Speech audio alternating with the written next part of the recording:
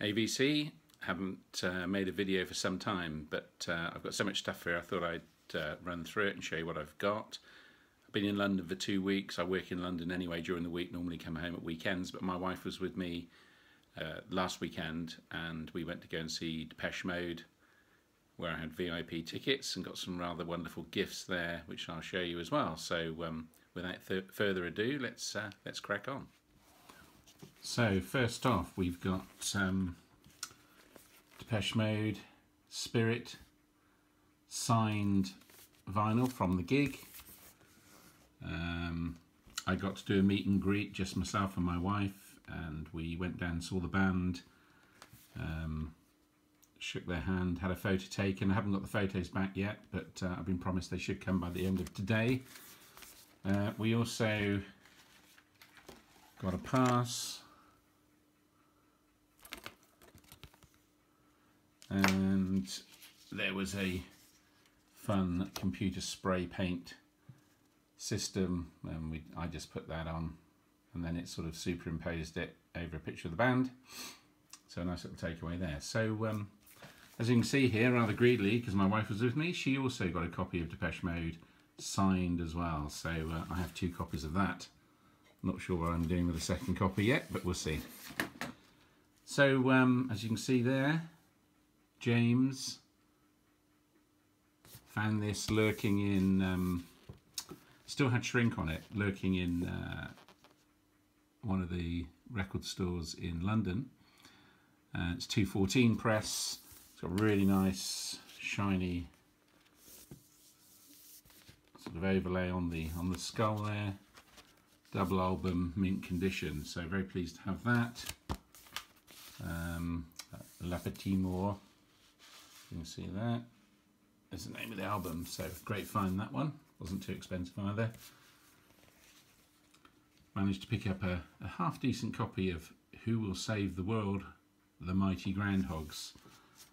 Been sort of after this for some time. Um, great condition sleeve cartoon on it story um, not sure where the album goes there's a bit of a crease there it's a bit of a shame not sure where the album goes but uh, just chucked it in there it's on the United Artists label but um, very nice to find that. Looking forward to spinning that later. That's, that's that one. Um, I'm a sort of on-off XTC fan, but uh, when I see them in the wild like this, in this condition, um, they're well worth picking up.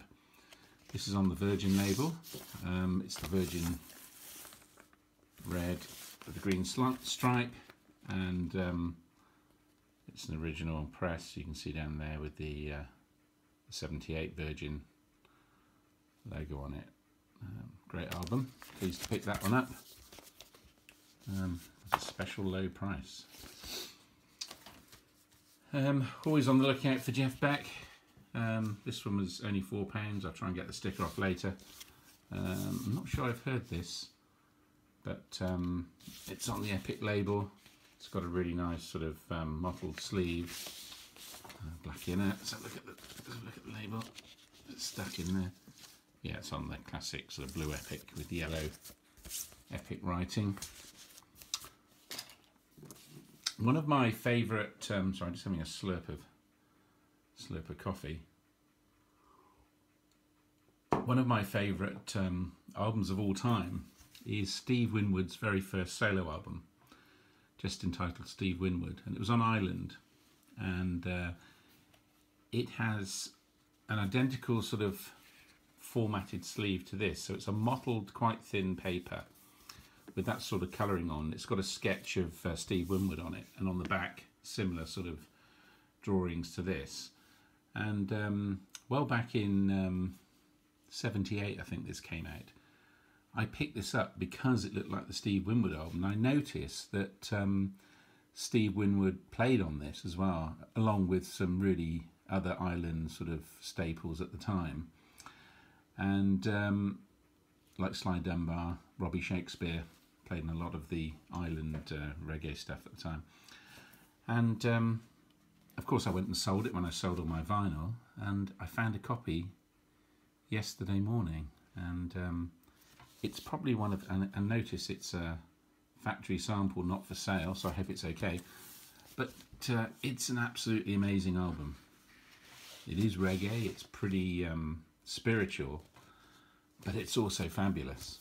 And uh, I got that at Reckless, and it's on the um, That Island label, which was the right one for the time. Um, you know, the Day and the Night Island label, which I really like. So very, very pleased to have picked that up. It's called um, Hail I Him Chapter 1. And I never saw a Chapter 2, so maybe there never was one. But very pleased to get that. I've, I've uh, recently got into Michael Chapman. And uh, he's sort of like um, sort of almost a UK Dylan stroke folk artist. Um, I sort of picked it up because there are similar. I picked him up because there are similar tracks, uh, artists, and and uh, sa uh, sounding tracks to his on uh, in Al Stewart's catalogue, and people like Tim Renwick um, play for both Michael Chapman and um, and Al Stewart. So it made me sort of have a look at this, and I found a Michael Chapman up reissue not long ago, and really enjoyed it. So I thought, well, that's interesting. Um, let's have a look at uh, look at some of his other albums. So whenever I see them, I pick them up. Another interesting aside is that the second album um, by Michael Chapman has a sort has a recorded sound that sounds incredibly like um, Bowie's Hunky Dory, and I and I hear that uh, Mike, Mick Ronson was into the Michael Chapman album and sound and reproduced that sound on the Hunky Dory album. So it sounds incredibly like the Hunky Dory album, which is which is uh, which you have to hear to believe. I did post something on Facebook about it, but it's got that sort of tremoloed, slow tremoloed guitar with a chorus on it, and it does sound incredibly like the same mix. Anyway, I digress. This is uh, Michael Chapman Life on the Ceiling. Never heard of it before. And um, looking at it, interestingly, like Bowie albums, it was, uh, I know it was cut at Trident Studios, where I used to work, funnily enough, um, by Ray Staff. And he was the cutting engineer. And the first day I went to Trident Studios and, and joined as a T-boy when I was 18, left Somerset, went up to London, got that job. Um, I was called to the cutting engineers suite, which was basically a room uh, soundproof room which had the cutting lathe in it. Can't remember what type of lathe it was.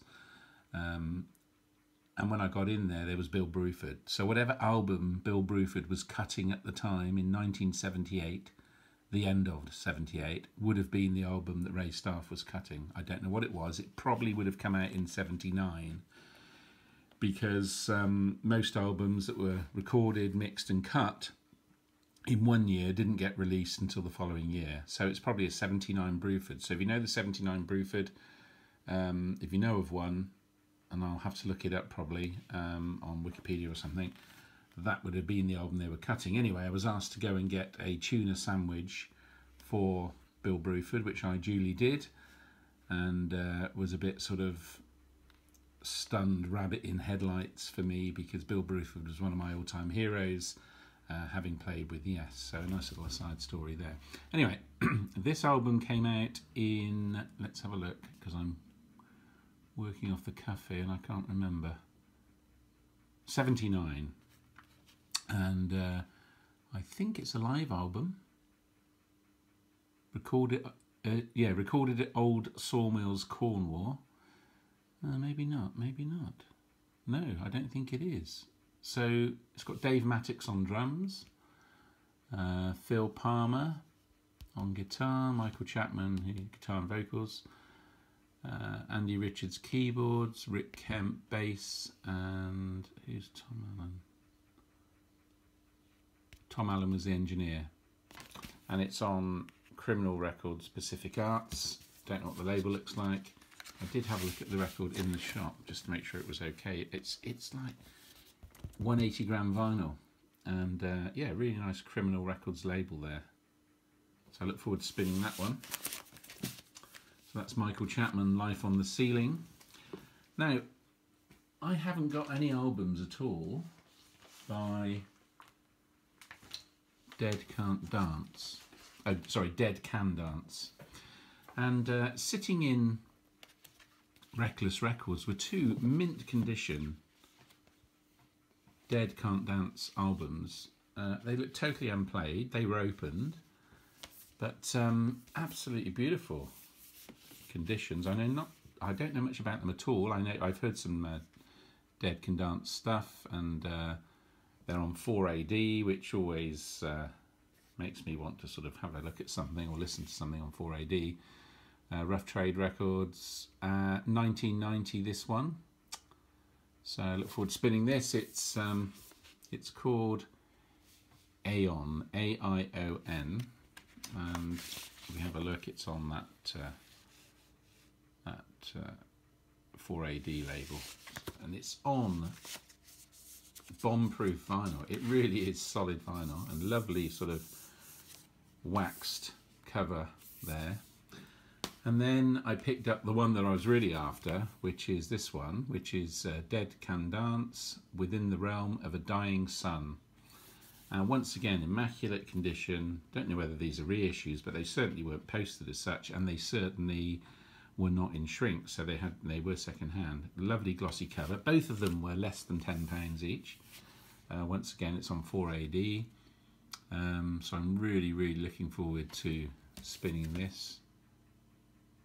Um, it's sort of ambient music, but with um, I almost said real instruments then. Sorry about that. Um, but violin, cello, trumpet, trombone, trombone and tuba, oboe, timpani, and military snare. So um, lots of drony sort of music, but um, looking forward to spinning those and very pleased to find them. So I'm uh, collecting the reissued uh, Beatles records from uh, De Agostini um, and they send through the albums. I've, I've, subscribed to the whole series and they send them through uh, in, in weird order and I've just got the Beatles Yellow Submarine and Magical Mystery Tour. Um, but they're beautifully produced. They've got lovely shiny covers. They're on once again 180 gram vinyl. This one has the original US uh, inner sleeve, which is quite exciting. It comes with a booklet with pictures and sort of stories about it, and um, this one's on the Apple label, so authentically reproduced. All of the um, cover art and writing is, is as per the original. So um, very pleased to get that. Today I also got the box for the whole set to go in um, which is part of the subscription. Um, and that was okay, but I also got a display frame, which I didn't really want, which goes on the wall and you can put one of the albums in it at a time. But all the glass was smashed in it, so I, I'm not going to bother to send it back. Can't be bothered. Uh, I probably won't use it anyway. It wasn't very nice. It wasn't one of those where you slip it down the top. You had to sort of put the album inside, which I'm not really keen on.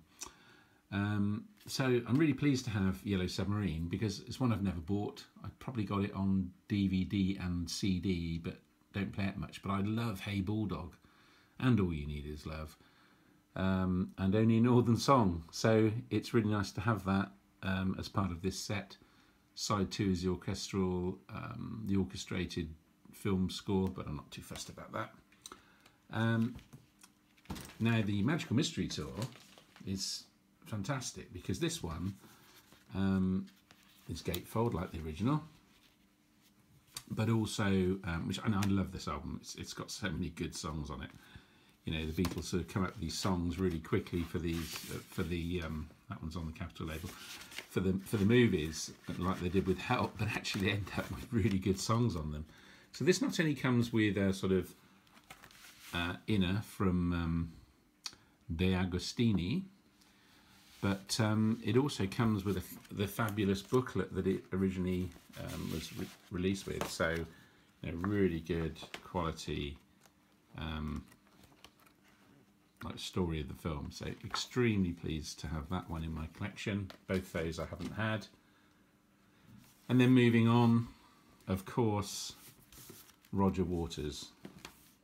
So I know this has been shown all over the VC. Roger Waters, is this the life we really want? Probably not, Roger. And I know you're pretty minty on this one. But I actually heard two pre-release songs on uh, Apple Music, and one was the title track, "Is This the Life We Really Want," and the other one was "Smell the Roses." And I have to say, absolutely stunning. Um, to me, it's more interesting what I've heard so far than the um, Rattle That Lock by Gilmour. I think certainly Waters, who wasn't my favourite, is certainly bringing out some fantastic albums. I mean, Amused to Death was just brilliant, and then this, this one I haven't heard the whole thing yet, so I know it's angry. I know it harps back sort of animals type of anger. Um, you know, anger about the country, about the world we live in. Annoyingly, this seems to have some surface scratches. But um, anyway, I'm sure it's fine. Probably just needs to be wiped over. But um, it's in these pretty harsh inners, as you can hear when they go in. So that probably doesn't help. But it is really annoying when you buy an album and it's already got some hairline scratching on it. I don't know if this one comes with a download card. But anyway, um, crappy sleeve, I think.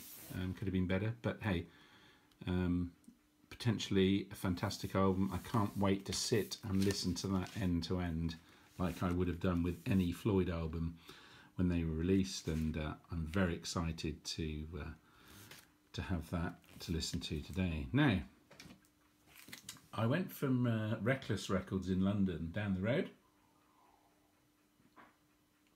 to to Sister Ray um, which is probably the better of the two, really. I mean, sometimes Reckless, you find some some some pretty good pickups, but they always sort of overprice them.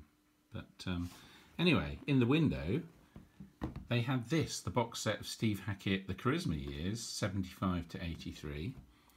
Um, and it said the 139 price was crossed out, and in its place it said £39. And I thought that can't be. So I, popped in, and um, sure enough, the guy said, "Yeah, thirty-nine quid. We've got two two box sets of these left, and we're trying to get rid of them." So I don't know why. So I just had to pick one up for that. I mean, it's got all the early albums on. The best one, which is Voyage of the Acolyte. Um, Please Don't Touch, Spectral Mornings, Defector, Cured, Highly Strung, and then it's got some three live albums. So I know what I like live at the Theatre Royal. I think that's like an extended 12 inch.